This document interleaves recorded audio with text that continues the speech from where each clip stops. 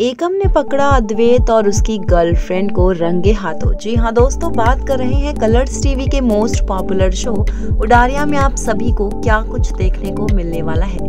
Well upcoming track में आप देखेंगे कि यहाँ पर जो हरलीन है, वो पहुँच चुकी है एकम के घर पर, जहाँ पर मल्लिका और साथ ही एकम की माँ। हरलीन से कहती है कि, बेटा, चलो डिनर कर लो।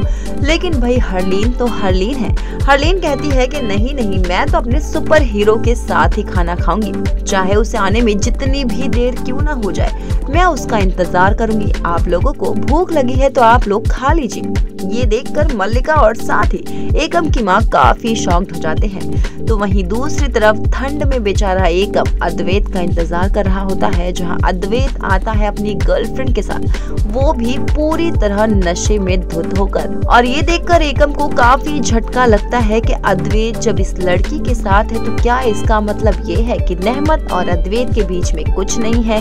क्या ये सब कुछ हमारी आँखों का धोखा है। वेल well, क्या पता अब जब एकम को शक हो चुका है अद्वैत और उसकी गर्लफ्रेंड पर तो एकम ये पता लगाने की कोशिश ज़रूर करेगा कि आखिरकार नहमत ने अद्वैत से शादी क्यों की।